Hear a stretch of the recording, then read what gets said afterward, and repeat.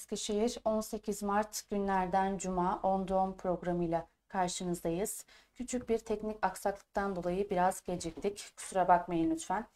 Evet bugün 18 Mart Çanakkale Zaferi ve Şehitleri Anma Günü.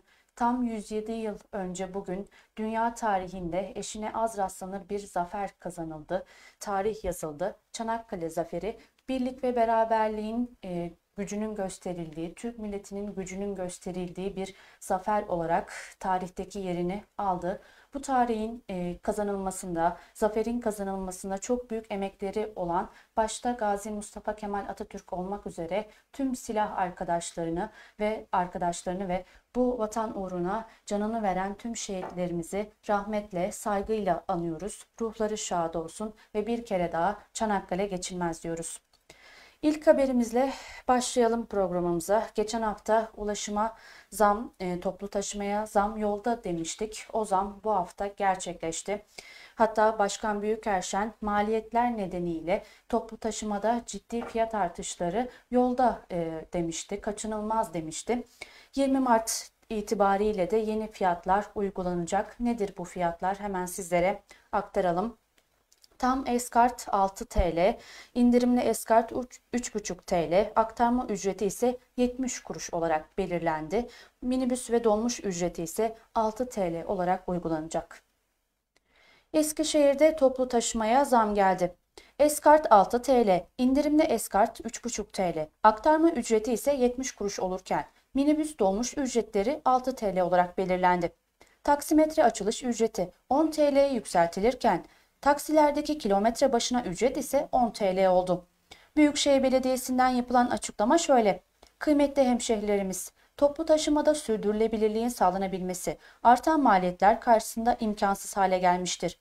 En temel giderlerimizden olan mazot ve elektrikteki artışlar başta olmak üzere personel giderleriyle yurt dışı yedek parça kaynaklı bakım onarım maliyetlerindeki artışlar ne yazık ki toplu taşımada fiyat artışını kaçınılmaz hale getirmiştir.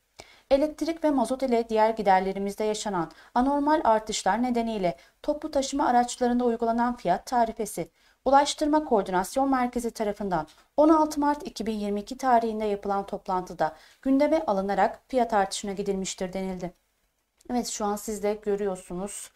Toplu taşımada yeni fiyatlar bu şekilde.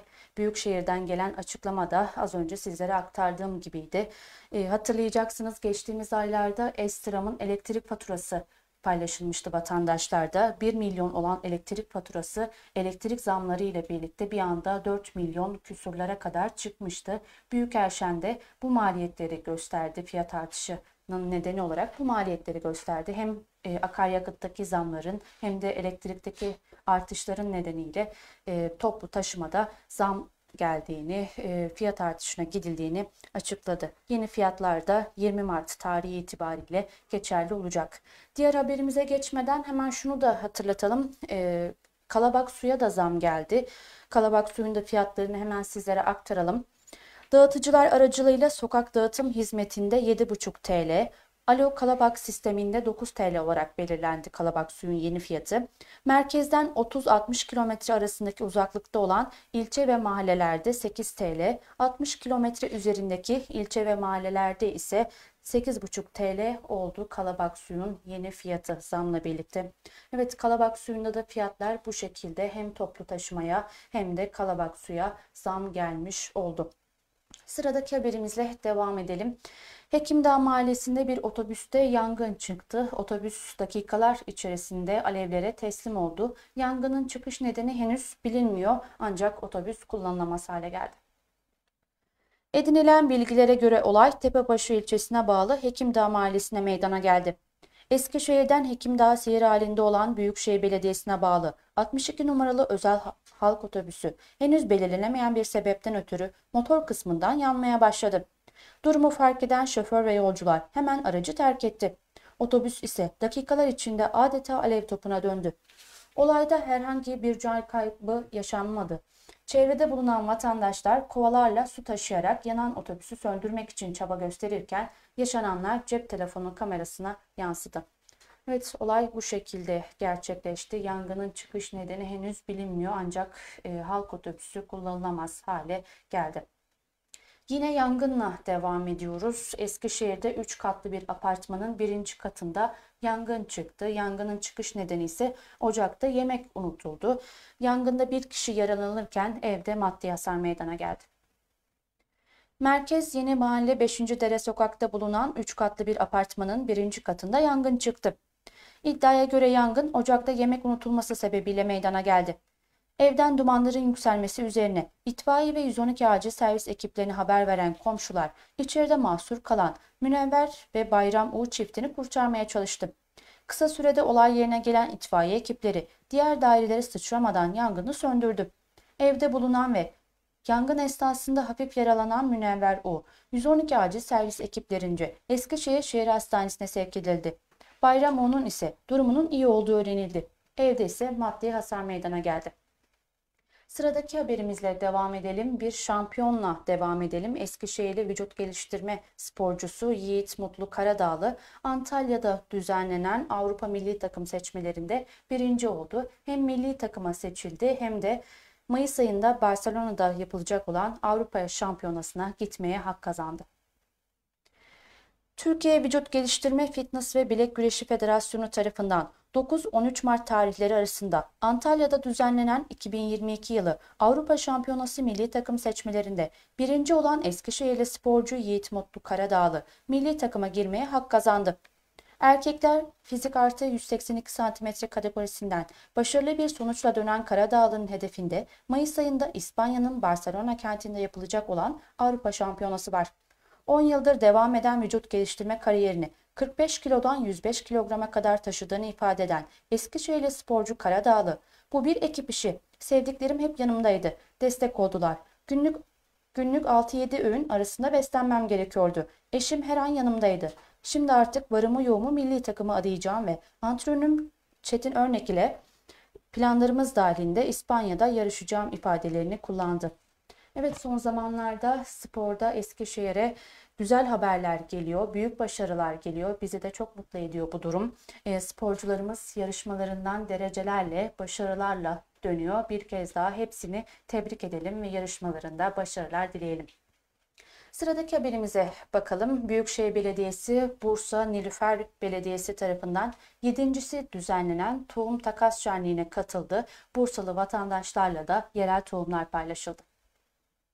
Türkiye genelinde sürdürülebilir yerel tohumla üretimi arttırmak, arttırmak için milyonlarca tohumu Eskişehir'de ve online başvuru yoluyla Türkiye'nin dört bir yanına dağıtan Büyükşehir Belediyesi, yerel yönetimlerin düzenlediği tohum takas şenliklerine de katılarak yerel tohumları vatandaşlara ulaştırmaya devam ediyor. Büyükşehir Belediyesi son olarak Bursa Nilüfer Belediyesi'nin düzenlediği 7. Tohum Takas Şenliği'ne katıldı. İhsaniye Kapalı Pazar alanında gerçekleştirilen şenliğe Eskişehir Büyükşehir Belediyesi'nin yanı sıra İzmir Büyükşehir, Çanakkale, Beylikdüzü, Gemlik Belediyeleri ve Kuzey Yıldız Rotary Grubu katıldı. Vatandaşların yoğun ilgi gösterdiği tohum takas şenliğinde toplamda 41 yerel tohum çeşidi yer aldı. Sıradaki haberimize geçelim. Kaldırımlar kaldırımlara hatta yollara bile park edilen araçların haberlerini sizlere aktarmaya devam ediyoruz. Bunlara bir yenisi daha eklendi. Odunpazarı Belediyesi'ne ait zabıta aracı park yasa olan yere trafiği engelleyecek şekilde e, park yapması sonucu vatandaşlar tepkilere neden oldu.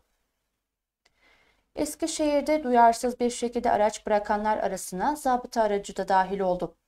Reşadiye Esnafı Sokak üzerinde Odunpazarı Belediyesi'ne ait zabıta aracı park yasağı olan yere trafiği engelleyecek şekilde park edildi. Trafik park düzenlemesini yapmakla yükümlü olan zabıtanın da park ihlali yaptığını gören vatandaşlar, zabıta bunu yapıyorsa vatandaş ne yapsın şeklinde tepki gösterdi. Evet park ihlallerine bir yenisi daha eklendi. Bu da zabıtadan geldi. Vatandaş da zabıta bunu yapıyorsa vatandaş ne yapsın diyerek tepkisini dile getirdi. Organize sanayi bölgesine gidelim. Bir fabrikanın bacasından çıkan zehirli gaz yağmur suyuyla birlikte logarlara indi. Gazın sıkışması sonucu da 30'dan fazla işçi zehirlendi. Ekipler olayla ilgili inceleme başlattı. Alınan bilgiye göre organize sanayi bölgesi 7. caddesinde faaliyet gösteren bir fabrikanın bacasından buhar ile çıktığı iddia edilen zehirli gaz yağmur ile birlikte logarlara indi. Gece saatlerinde gazın sıkışması sonrasında fabrikalarda bulunan bazı işçiler rahatsızlanmaya başladı. Servislerle çeşitli hastanelere götürülen 30'un üzerinde işçi tedavi altına alındı. Sabah vardiyasına gelen işlerin, işçilerin de bir bölümü de çalışmaya başladıktan sonra rahatsızlandı. İşçiler fabrikaya gelen 112 acil sağlık ekipleri tarafından Eskişehir Şehir Hastanesi'ne kaldırıldı. İşçilerin zehirlenmesi üzerine organize sanayi bölgesine bağlı ekipler konuyla ilgili inceleme başlattı. Çalışma sonrasında işçilerin zehirlenme sebeplerinin belirleneceği öğrenildi. Sıradaki haberimizle devam edelim. Eskişehir Spor'a bakalım. Eskişehir Spor'un Spor Toto Teşkilat Başkanlığı'nda 2016'dan beri bloka, e, bloke edilen parası alacaklara verilmek üzere serbest kalıyor. Kulüp Başkanı Mehmet Şimşek Twitter hesabından konuyla ilgili bilgi verdi. Emeği geçenlere teşekkür eden Şimşek, 2016 yılından beri yasal bir prosedürden dolayı yılan hikayesine dönen Sportoda Teşkilat Başkanlığı'nda bloke hesapta bulunan Eskişehir Spor parası sorununda sona gelinmiş ve paramız yasal borçlularımıza aktarılmak üzeredir. Bu süreçte bize desteklerde bulunan başta AK Parti İl Başkanımız Zihni Çalışkan, Büyük Birlik Partisi Genel Başkanı Mustafa Destici, MKYK üyemiz Burhan Sakallı ve kulübümüz haklarını savunan ve yöneticimiz avukat Cihan Gürsay'a çok teşekkür ederiz paylaşımını yaptı. Eskişehir Spor'un bloke edilen yaklaşık 6,5 milyon lirası önümüzdeki günlerde alacaklılara ödenecek. Evet kulüp başkanı Mehmet Şimşek'ten yapılan açıklama bu şekildeydi. Eskişehir Spor'un bloke edilen yaklaşık 6,5 milyon lirası önümüzdeki günlerde alacaklılara aktarılmak üzere aktarılacağını dile getirildi. Güzel görüntülerle programımızı bitirelim. Hem programımızı hem de bu haftayı güzel görüntülerle bitirelim. Dün Eskişehir'de kar yağışı etkili olmuştu. Yüksek kesimlerde beyaz örtüyle kaplandı. Ortaya da muhteşem manzaralar çıktı. İlkbaharın yaşandığı şu günlerde birçok ilde kar yağışı etkisini göstermeye başladı. Eskişehir'de gece yağmaya başlayan kar sabah saatlerinde kentin yüksek kesimlerinde şiddetini arttırdı. Bozdağ ve çevresine beyaza bürüyen kar yaklaşık 5 cm kalınlığa ulaşırken ortaya karpostallık görüntüler çıktı. Yağışın etkisinin az olduğu kent merkezinde ise kar sadece çatılarda ve otomobiller üzerinde tuttu. Öte yandan Meteoroloji 3. Bölge Müdürlüğü'nden Müdürlüğü'nün açıklamasına göre yağışlı havanın yerini soğuk havaya bırakacağı ve sıcaklığın mevsim normallerinin 2 ila 4 derece altında seyredeceği tahmin ediliyor. Evet kar yağışı ortaya bu güzel manzaraları, karpostallık görüntüleri ortaya çıkardı.